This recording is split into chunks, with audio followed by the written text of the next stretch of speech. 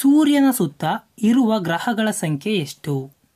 ಸೂರ್ಯನ ಸುತ್ತ ಇರುವ ಗ್ರಹಗಳ ಸಂಖ್ಯೆ ಎಷ್ಟು? ಎಂಟು ಗ್ರಹಗಳು ಕಂಡುಬರುತ್ತವೆ ಬೀಳುವ ನಕ್ಷತ್ರಗಳನ್ನು ಏನೆಂದು ಕರೆಯುತ್ತಾರೆ? ಬೀಳುವ ನಕ್ಷತ್ರಗಳನ್ನು ಏನೆಂದು ಕರೆಯುತ್ತಾರೆ? ಬೀಳುವ ನಕ್ಷತ್ರಗಳನ್ನು ಉಲ್ಕೆಗಳು ಎಂದು ಕರೆಯುತ್ತಾರೆ. ಈ ಕೆಳಗಿನ ಯಾವ ರೋಗ ನೀರಿನಿಂದ ಉಂಟಾಗುವುದಿಲ್ಲ? ಈ ಕೆಳಗಿನ ಯಾವ ರೋಗ ನೀರಿನಿಂದ ಉಂಟಾಗುವುದಿಲ್ಲ?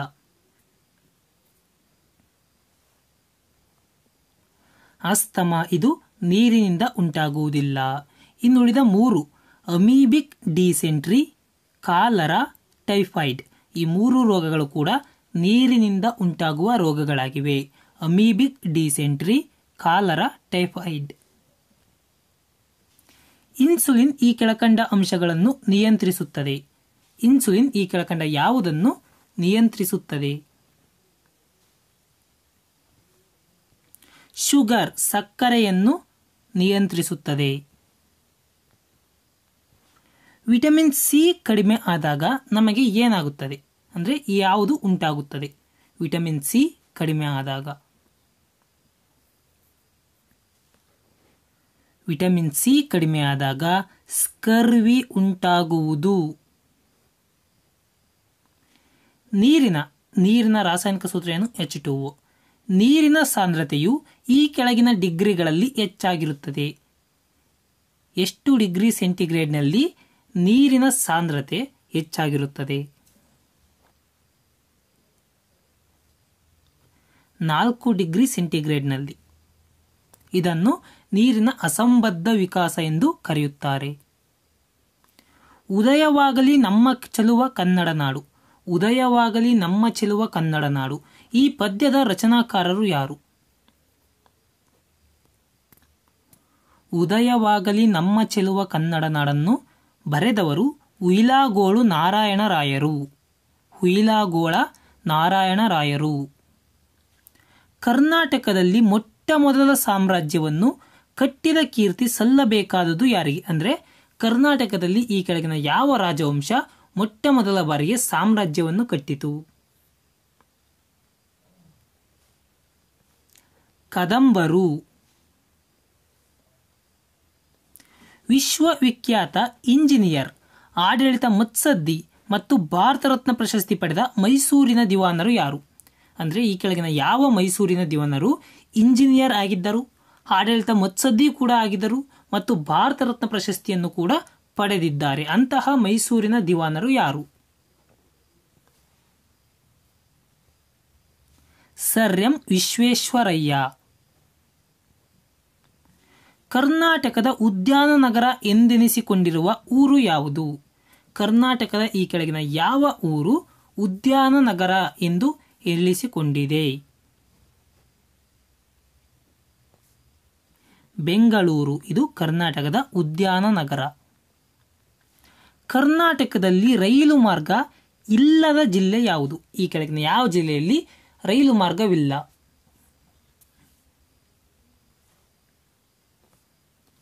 ಕೊಡಗು. ಬೆಂಗಳೂರನ್ನು ಸ್ಥಾಪಿಸಿದ ಮಹಾಪುರುಷ ಯಾರು? ಬೆಂಗಳೂರನ್ನು ಸ್ಥಾಪಿಸಿದ ಮಹಾಪುರುಷ ಯಾರು? ಕೆಂಪೇಗೌಡರು.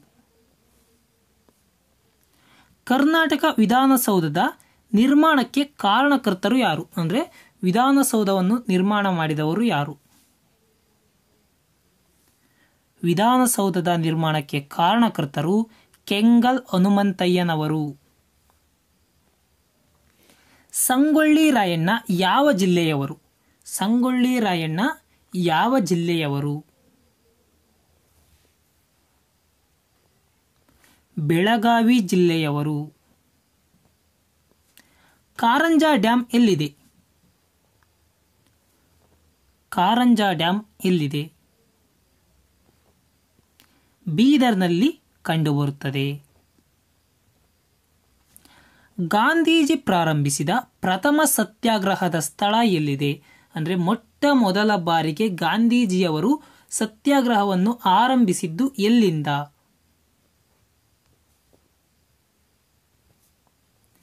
ಚಂಪಾರಣ್ನಿಂದ ಚಂಪಾರಣ್ ಸತ್ಯಾಗ್ರಹ.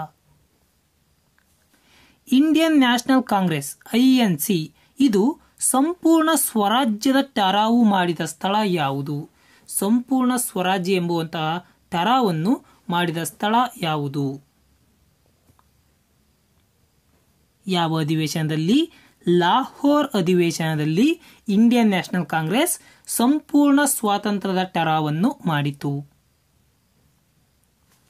ಜಲಿಯನ್ ವಾಲಾಬಾಗ್ ದುರಂತಕ್ಕೆ ಕಾರಣನಾದ ಜನರಲ್ ಡಯರ್ ವಿರುದ್ಧ ಸೇಡು ತೀರಿಸಿಕೊಳ್ಳಲು ಇಂಗ್ಲೆಂಡಿಗೆ ಹೋದ ಭಾರತದ ಸ್ವಾತಂತ್ರ್ಯ ಯೋಧ ಯಾರು? ಅಂದರೆ ಈ ಕೆಳಗಿನ ಯಾವ ಭಾರತದ ಸ್ವಾತಂತ್ರ್ಯ ಯೋಧ ಇಂಗ್ಲೆಂಡಿಗೆ ಜಲಿಯನ್ ವಾಲಾಬಾಗ್ ದುರಂತಕ್ಕೆ ಕಾರಣನಾದಂತಹ ಜನರಲ್ ಡಯರ್ನ ವಿರುದ್ಧ ಸೇಡನ್ನು ತೀರಿಸಿಕೊಳ್ಳಲು ಹೋಗುತ್ತಾನೆ ಸರಿಯಾದ ಉತ್ತರ ಉದಮ್ ಸಿಂಗ್. ಸುಭಾಷ್ ಚಂದ್ರ ಬೋಸ್ ಆಜಾದ್ ಇನ್ ಫೌಜ್ ಸ್ಥಾಪಿಸಿದ ಸ್ಥಳ ಯಾವುದು? ಆಜಾದ್ ಇನ್ ಫೌಜನ್ನು ಸ್ಥಾಪಿಸಿದ ಸ್ಥಳ. ಸಿಂಗಾಪುರ. ದ್ರೋಣಾಚಾರ್ಯ ಪ್ರಶಸ್ತಿಯನ್ನು ಯಾವುದಕ್ಕಾಗಿ ನೀಡಲಾಗುತ್ತದೆ? ದ್ರೋಣಾಚಾರ್ಯ ಪ್ರಶಸ್ತಿಯನ್ನು ಯಾವುದಕ್ಕಾಗಿ ನೀಡಲಾಗುತ್ತದೆ? ಕ್ರೀಡಾ ತರಬೇತಿಗಾಗಿ ನೀಡಲಾಗುತ್ತದೆ. ರಣಜಿ ಟ್ರೋಫಿ ಈ ಕೆಳಗಿನ ಯಾವ ಆಟದೊಂದಿಗೆ ಸಂಬಂಧವನ್ನು ಹೊಂದಿದೆ? ರಣಜಿ ಟ್ರೋಫಿಯು ಕ್ರಿಕೆಟ್ನೊಂದಿಗೆ ಸಂಬಂಧವನ್ನು ಹೊಂದಿದೆ. ವಿಶ್ವನಾಥ್ ಆನಂದ್ ಯಾವ ಪಂದ್ಯಕ್ಕೆ ಹೆಸರುವಾಸಿಯಾಗಿದ್ದಾರೆ? ವಿಶ್ವನಾಥ್ ಆನಂದ್ ಚೆಸ್ ಆಟಕ್ಕೆ ಹೆಸರುವಾಸಿಯಾಗಿದ್ದಾರೆ. ಅಶ್ವಿನಿ ನಾಚಪ್ಪ ಅಶ್ವಿನಿ ನಾಚಪ್ಪ ಯಾವ ಆಟಕ್ಕೆ ಸಂಬಂಧಿಸಿರುತ್ತಾರೆ? ಅಶ್ವಿನಿ ನಾಚಪ್ಪ ಅಥ್ಲೆಟಿಕ್ಸ್ಗೆ ಸಂಬಂಧಿಸಿದ್ದಾರೆ. ವರ್ಗೀಸ್ ಕೂರಿಯನ್ ವರ್ಗೀಸ್ ಕೂರಿಯನ್ ಯಾವುದಕ್ಕೆ ಸಂಬಂಧಿಸಿರುತ್ತಾರೆ? ವರ್ಗೀಸ್ ಕೂರಿಯನ್ ಹಾಲು ಉತ್ಪಾದನಾ ಕ್ಷೇತ್ರಕ್ಕೆ ಸಂಬಂಧಿಸಿದ್ದಾರೆ. ಮನುಷ್ಯನ ದೇಹದ ಸಾಮಾನ್ಯ ಉಷ್ಣತೆ ಎಷ್ಟಿರುತ್ತದೆ?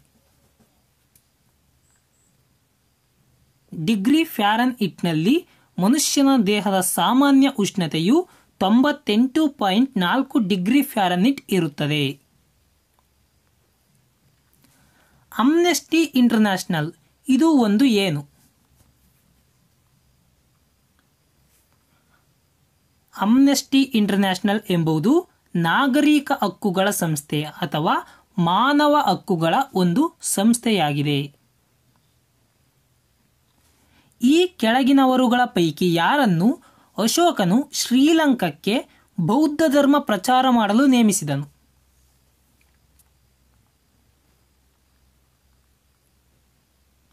ಮಹೇಂದ್ರ ಮಹೇಂದ್ರನನ್ನು ಅಶೋಕನು ಶ್ರೀಲಂಕಾದಲ್ಲಿ ಬೌದ್ಧ ಧರ್ಮ ಪ್ರಚಾರ ಮಾಡಲು ನೇಮಿಸ್ತಾನೆ.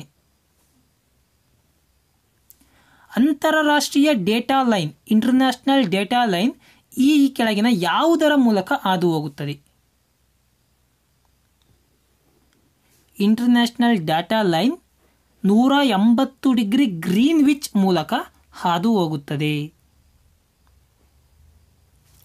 ಕಪ್ಪು ಮಣ್ಣು ಈ ಬೆಳೆಯನ್ನು ಬೆಳೆಯಲು ಉತ್ತಮವಾದದ್ದು. ಕಪ್ಪು ಮಣ್ಣು ಈ ಕೆಳಗಿನ ಯಾವ ಬೆಳೆಗೆ ಅತಿ ಹೆಚ್ಚು ಸೂಕ್ತವಾಗಿದೆ? ಕಪ್ಪು ಮಣ್ಣು ಹತ್ತಿ ಬೆಳೆಗೆ ಅತಿ ಹೆಚ್ಚು ಸೂಕ್ತವಾಗಿದೆ. ಕುದುರೆ ಮುಖವು ಒಂದು ಏನು? ಕುದುರೆ ಮುಖ ಅನ್ನೋದು ನೀವು ಕೇಳಿದಿರಿ, ಅದು ಏನು? ಕುದುರೆ ಮುಖವು ಒಂದು ಕಬ್ಬಿಣದ ಅದಿರು ಯೋಜನೆಯಾಗಿದೆ. ಕುದುರೆ ಮುಖವು ಒಂದು ಈ ಕೆಳಗೆ ಕೊಟ್ಟಿರುವ ಆಪ್ಷನ್ಗಳಲ್ಲಿ ಕಬ್ಬಿಣದ ಅದಿರು ಯೋಜನೆಯಾಗಿದೆ. ವಿಂಡೋಸ್ ನೈಂಟಿ ಫೈವ್ ಒಂದು ಏನು? ವಿಂಡೋಸ್ ನೈಂಟಿ ಫೈವ್ ಅಂದರೆ ಏನು? ಒಂದು ವಿಧವಾದ ಪೀಠೋಪಕರಣ, ಒಂದು ವಿಧದ ಕಟ್ಟಡ, computer software, computer hardware. Windows ninety five ಏನು ಎಂದು ಕಮೆಂಟ್ ಬಾಕ್ಸ್ನಲ್ಲಿ ತಿಳಿಸಿ ನನ್ನ ನೆಕ್ಸ್ಟ್ ವಿಡಿಯೋದಲ್ಲಿ ಇದಕ್ಕೆ ಸರಿಯಾದ ಉತ್ತರವನ್ನು ಪ್ರಕಟಿಸುತ್ತೇನೆ. ಧನ್ಯವಾದಗಳು.